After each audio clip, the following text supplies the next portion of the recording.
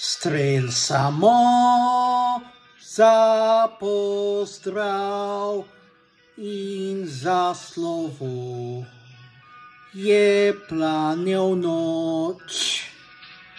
Sredi trav pokopan,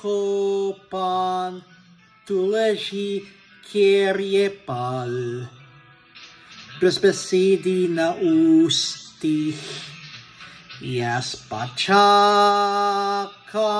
pomladi, slutim nežni dlani, moje drage, čutim božanje las in besedi tve, brez besed, sredi trav ku pomlad je tu.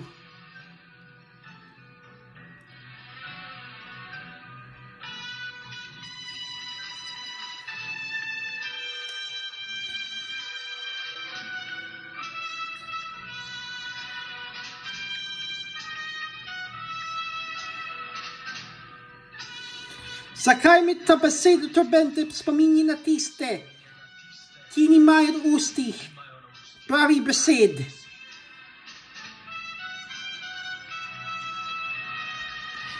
Le zakaj vse te rože sredi polja leži in trohnijo, da bi vsi ti ljudje zaslutili čas in pomlad, ki za vse je enkrat